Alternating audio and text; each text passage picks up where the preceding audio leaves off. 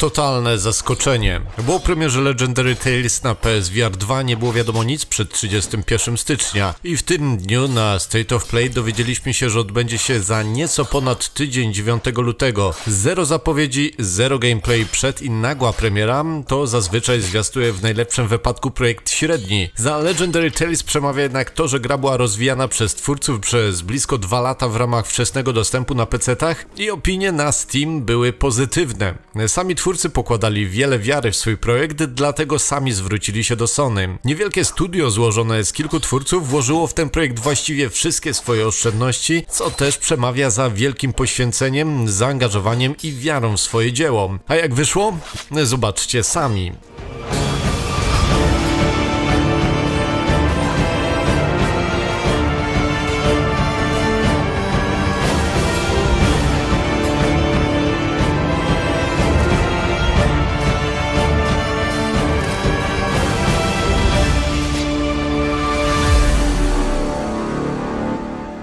Legendary Tales to gra, która wypełnia lukę wśród gier, które powinny znaleźć się w bibliotece PSVR 2. Dla tych, którzy czekali na premierę takiej gry jak Undead Citadel i szukają czegoś w podobnym settingu. Dla tych, którzy wciągnęli się w mający niedawno swoją premierę Engine Dungeon, dungeonowego rogalejka, który wodzi minecraftową grafiką i niszczy dziecięce psychiki poziomem trudności, a do którego też jest sporo podobieństw. No i najważniejsze dla tych, którzy czekali, aż wreszcie pojawi się na goglach gra, która czerpać będzie z takich gier jak Demon Souls czy Diablo. No bo twórcy sami przyznali, że inspirowali się nimi najwięcej. Jeśli chodzi o pierwszą pozycję, to już na wstępie raczej nie jesteśmy grafiką, która ma wam podświadomie nakreślić, że oto znaleźliście się w czarnej dupie, no i będzie ciężko.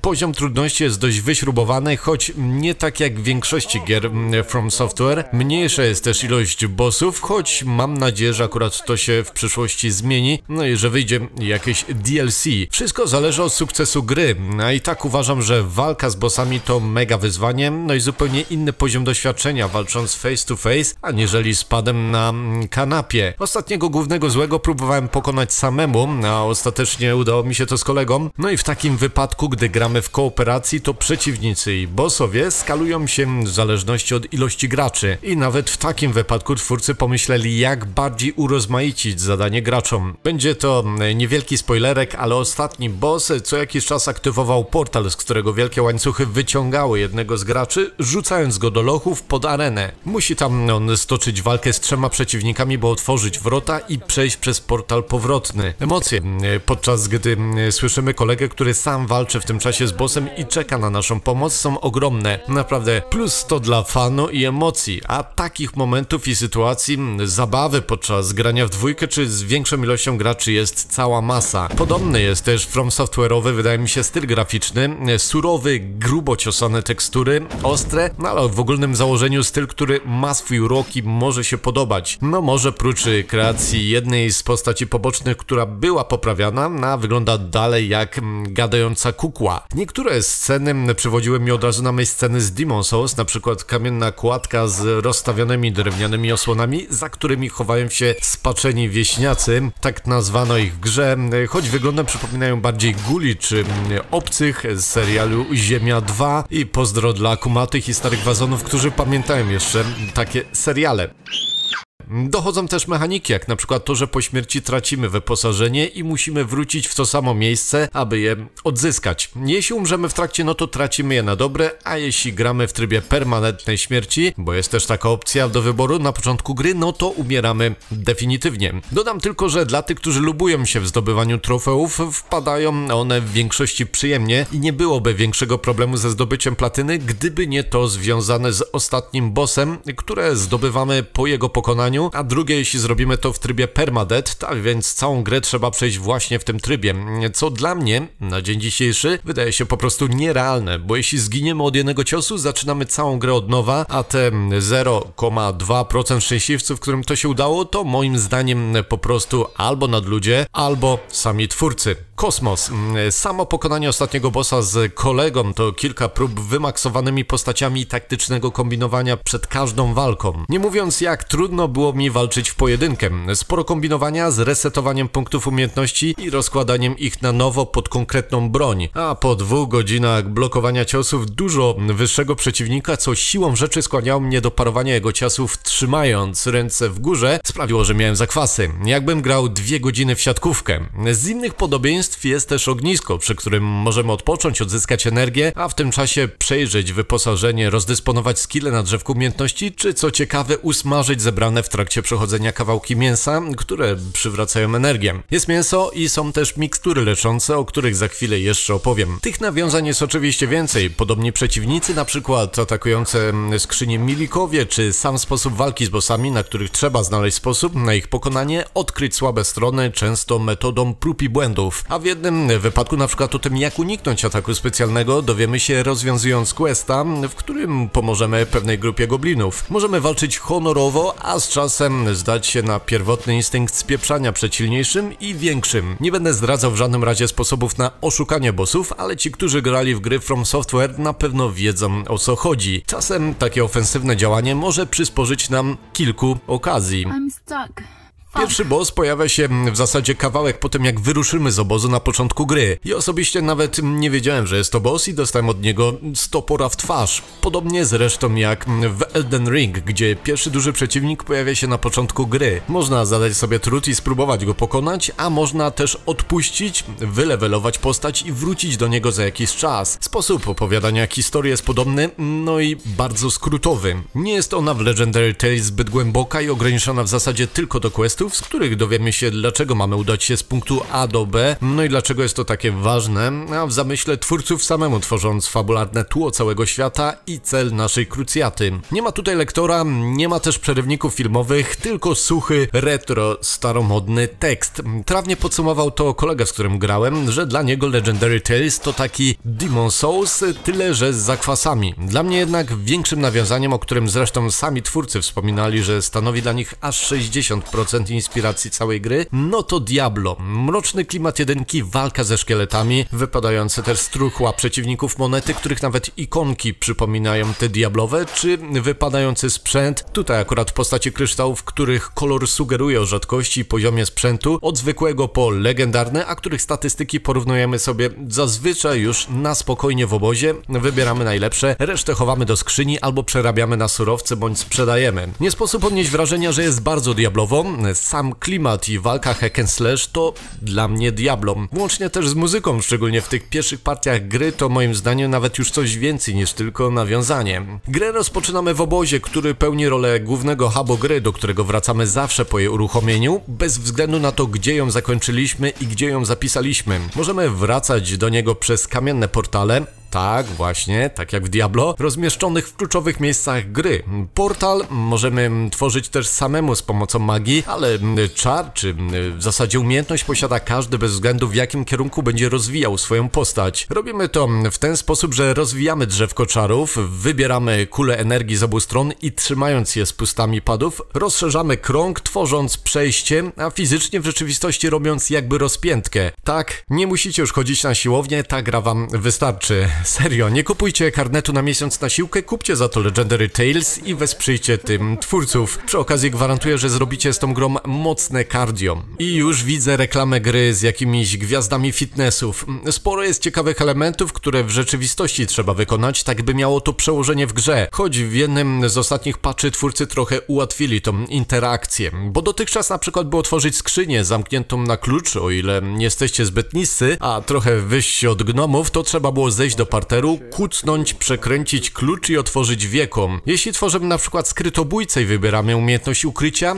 to jeśli kucniemy przed ekranem, pojawia się ikona oka oznaczająca, że jesteśmy niewidoczni, no i możemy podejść bliżej, by zaskoczyć przeciwnika. Samo upieczenie mięsa nad ogniskiem wymaga, byśmy zrobili to nad ogniem i dlatego trzeba się do niego zniżyć. Wyobraźcie sobie przy tym minę mojej żony, która na telewizorze oglądała swoje programy, a ja otwierałem przed jej nogami skrzynię i kucałem nad ogniskiem. Do Dotychczas trzeba było to robić fizycznie, a w jednym z ostatnich patchy twórcy dodali możliwość kucania przytrzymując dłużej R3. Nie oznacza to jednak, że w tej grze się nie zmęczycie, bo gwarantuję, że ręce was nieraz tutaj zabolą. Obóz to jednak coś więcej. Są tutaj oczywiście postacie zlecające nam zadania. Jest kowal, jest alchemiczka i handlarka prowadząca coś na zasadzie kasyna, czy właściwie takiej budki lotto, w której losujemy broń za pieniądze. Zaczynając od kowala, możemy od niego kupić oręż, ale co ważniejsze, obok jego wozu znajduje się maszyna do rozbierania sprzętu na składniki. Zebrane fanty, których nie chcemy, bardziej niż sprzedać, opłaca się przerabiać. Wrzucamy w takim wypadku sprzęt do maszyny, zaznaczając go w ekwipunku, a gdy już to zrobimy, ciągniemy za wajchę, a maszyna na końcu wyrzuci nam surowce o określonych właściwościach. Dalej możemy je łączyć w coraz to lepsze składniki, mieszając je w kotle, który znajduje się zaraz obok. Łączymy rudy metalu, drewno albo proszki, tak, kryształ, które w ilości trzech tych samych składników da lepszy jakościowo surowiec. Na przykład y, trzy bloki drewna brzozowego dadzą bardziej unikalny heban, a trzy deski hebanu drewno żelazne. I tak jest z każdym składnikiem. Zanim jednak mm, opowiem po co to robimy, wspomnę jeszcze o alchemiczce. Jej wóz jest, można powiedzieć, bardzo słowiański ze względu na budzące skojarzenia i to te pozytywne sprzęt mm, do produkcji eliksirów. A jak powszechnie wiadomo, my Polacy jesteśmy w tym najlepsi najlepsi w tworzeniu eliksirów. W czasie gry zbieramy ze skrzyń czy beczek odłamki krwi i many, których dwa wrzucone do leja tworzą miksturę leczącą albo many. Kurwa. U alchemiczki możemy kupić także cięciwe do budowy łuku, a co ważniejsze osełkę. No i tutaj zaczyna się prawdziwa zabawa, bo trzymając w jednej ręce osełkę i ściskając spustem w drugiej kryształ, stworzymy w ten sposób osełkę o takich samych właściwościach jak kryształ. Dotyczy to też mikstur leczących, gdzie podstawowa stworzona z odłamków dodaje co najwyżej 30 HP, ale ulepszona kryształem nawet podniesie jego moc do 180. Wiem, kryształ to zło, ale nie w tej grze. Osiągając poziom 50 mając minimum 500 punktów honoru, które zdobywamy rozwiązując questy, możemy kupić osełkę legendarną. Po co są w zasadzie te osełki? No, przechodzimy do najlepszej, najbardziej złożonej części całego obozu, bo możemy w nim tworzyć broń własnoręcznie i mamy ku temu wszelkie możliwe narzędzia. Prawdziwy biskupin. W pierwszej kolejności przechodzimy do wozu, w którym tworzymy elementy metalowe. Z listy wybieramy jaką broń chcemy stworzyć i wrzucamy do niego rudy metalu. Maksymalnie 10 w zależności od ilości i jakości wytworzymy broń na odpowiednim dla naszej postaci levelu. Podsycamy ogień wajchą i tworzymy bryłę metalu, którą następnie przekładamy szczypcami na stół kowalski. Na nim rozbijamy go młotkiem, nadając kształt z listy. Dalej wrzucamy rozgrzany metal do beczki z wodą i przechodzimy do maszyny, w której wytworzymy drewniane elementy w podobny sposób, wrzucając deski i kręcąc kołem. Łączymy wszystko w całość i tak zbudowane rękodzieło możemy ulepszyć osełką, uderzając nią o ostrze zwiększając jej właściwości, przykład zadawania dodatkowych obrażeń. Jeszcze lepiej, gdy użyjemy osełki legendarnej, bo bronie o ile te o dobrych parametrach wypadać będą w trakcie gry z przeciwników, to legendarne zdarzają się bardzo rzadko i w zasadzie głównie po pokonaniu bossa, a i tak dzieje się to losowo. Broń legendarna posiada dodatkowe umiejętności, na przykład halabarda po uderzeniu jej trzonem o ziemię powoduje ogłuszenie wrogów w bliskim zasięgu i dodatkowe obrażenia ogniem. Umiejętności tej tylko broni legendarnej możemy ulepszać w drzewku umiejętności punktami honoru. Broni jest bardzo dużo, są siekiery, są topory, młoty, jednoręczne miecze, na przykład rycerskie, gladiusa czy katany, ciężkie dwuręczne albo sztylety, w tym także żądło, jak to, które nosił Frodo. Każdy używa się inaczej i trochę wypracowuje to nasz własny styl walki. Nawet chwyt ma znaczenie podczas walki i ustawiamy go z pustem, układając dłonie tak jak nam to pasuje. Znowu nawiążę do halabardy, bo nią grałem najwięcej. Ułożenie rąk w tylnym położeniu powodowało, że lepiej trzymałem wrogów na dystans, a krótki chwyt był dobry w zwarciu przez możliwość szybkiego bloku. Sposób uderzenia ma także znaczenie, inaczej punktowane są obrażenia, co warto poćwiczyć w obozie. Halabardą dobrze wychodziły pchnięcia i ciosy uderzane w głowę, które były sporo punktowane, ale z każdą bronią jest inaczej i czy to będą uderzenia, pchnięcia, cięcia z boku czy z góry, różnią się one punktami obrażeń. Sprawdzenie każdej broni i wypracowanie stylu gry sprawia masę klasę radochy. Miejsc też na łożenie broni jest sporo, bo na pasie są dwa sloty na wyciągnięcie z lewej i prawej strony, a na ciężką broń i łuk jest miejsce na plecach, ale o dziwo tutaj wyciągamy ją chwytając za jajca w dół między nogami. Osiem łącznie slotów szybkiego wyboru po rozwinięciu ich głównymi przyciskami daje naprawdę sporo dodatkowych możliwości żonglowania różnego rodzaju bronią w trakcie walki. Oczywiście jest też drzewko umiejętności, od którego zależy w jakim kierunku rozwijać będziemy bohatera, czy w kierunku maga, łucznika, czy skrytobójcy. Ja z uwagi na halabardę dodawałem umiejętności zadawania dużych obrażeń bronią dwuręczną i wymaksowałem odzyskiwanie HP w trakcie walki i many potrzebnej do daszowania, czyli szybkich uskoków i wykorzystywania umiejętności legendarnej halabardy. Co ważne, są trzy podstawowe poziomy postaci. Siła, witalność i intelekt. Każda z broni jednak, którą używamy, ma dodatkowe oznaczenie, który z tych poziomów będzie nabijać w walce. I na przykład taka halabarda oznaczona była siłą i ubijanie wrogów powodowało zapełnienie paska siły. To z kolei warunkuje rozmieszczenie punktów na drzewku, bo niektóre umiejętności wymagać będą odpowiedniej ilości punktów danego poziomu, przykład siły do ich odblokowania. Na pewno nie uda się zebrać w czasie jednego przejścia gry wszystkich umiejętności. Blokują się one po osiągnięciu poziomu 50 i trochę szkoda, bo brakuje tego, żeby po ukończeniu gry odblokowywać kolejne umiejętności walką. Można już tylko rozwiązywać questy na nowo, zbierać też punkty honoru, a po ukończeniu gry odblokowuje się też reset punktów, dzięki czemu można stworzyć na nowo zupełnie inną klasę bohatera. Jeśli chodzi o przeciwników, to nie ma ich zbyt wielu, są w zasadzie szkielety, gobliny, wieśniacy i piekielni wojownicy, ale także ich większe formy i różne ich klasy. Część szkieletów na przykład będzie wyposażona w miecze, inni w łuki i są też magowie. Wśród na przykład goblinów są ci rzucający fireballami, kamieniami, czy też uzbrojeni w pałki albo łuki. Są też przeszkadzajki w postaci latających nietoperzy czy głów. Mimo to nie czułem w ogóle znużenia walką przez możliwości i ilość broni, która zawsze wyzwala trochę inny styl walki i wyprowadzania ciosów, przez co walka jest zawsze trochę inna. Jak widzicie, gra mocno mi podeszła, ale dlatego, że czerpię z dwóch gier, w zasadzie dwóch można powiedzieć gatunków, które uwielbiam. Jest to Diablo, jedynka, dwójka, no i kawał przy tym mojego dzieciństwa, no i też Demon Souls, którego odświeżona wersja na PlayStation 5 jest w topce moich ulubionych gier, a Elden Ringa ogrywałem namiętnie przez blisko ponad 200 godzin. Wreszcie jednak mogę poczuć tak jakbym był w tych grach, jakbym walczył z pierwszej osoby, czuję uderzenia bronią. Sam fakt tego, że miałem zakwasy jest czymś niesamowitym. Gdyby kiedyś ktoś powiedział mi, że będę przeżywał taką grę jak Diablo walcząc fizycznie, mm, nie uwierzyłbym. A na pewno powiedziałbym, że wtedy mógłbym po prostu umrzeć szczęśliwie, bo byłem spełniony, jeśli chodzi o takie doświadczenia growe, no i przeżył grę całym sobą. Fakt jest taki, że tutaj poniekąd umieramy i to dość często, więc częściowo się to sprawdza. Dobra, jeśli chodzi o ocenę całościową, o podsumowanie, no to jeśli chodzi o grafikę i styl artystyczny gry, podobał mi się dla mnie jest to 8. Fabuła raczej leciutka, sprowadzająca się do questów i przez nią poznajemy motywację bohaterów i główny cel, no oceniam na 7. Muzyka i udźwiękowienie jest solidne, pasuje do całokształtu. Nie usłyszymy tutaj bohaterów, a jedynie suchy tekst, dlatego oceniam także na 7. Za to słuchajcie, miód, czyli dla mnie najważniejsza kwestia oceniająca to jak bawiłem się w grze, to z czystym sumieniem przyznaję pełną ocenę 10 na 10. Gra, która jest niesamowita w pojedynkę, a w kooperacji zyskuje jeszcze bardziej. Walka, yy, różne rodzaje oręża, wymuszające różny styl, budowanie, kraftowanie, skill, to wszystko łączy się w coś bardzo oryginalnego, bardzo grywalnego. Przyćmiewa też sporadyczne błędy, które na bieżąco są poprawiane przez twórców, a na przykład do niektórych zmieniłem w ogóle swoje podejście. Na przykład walcząc nasza broń potrafi utknąć w ciele wroga i ciężko jest ją czasami wyrwać. Ale jak to powiedział mi kolega,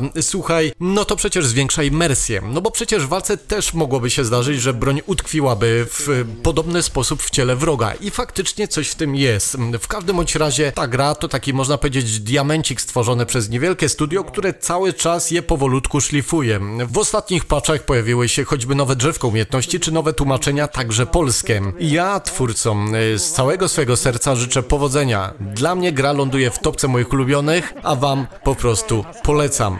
Dzięki wam za oglądanie, trzymajcie się, na razie, hej! Co za kurwa małpiszon.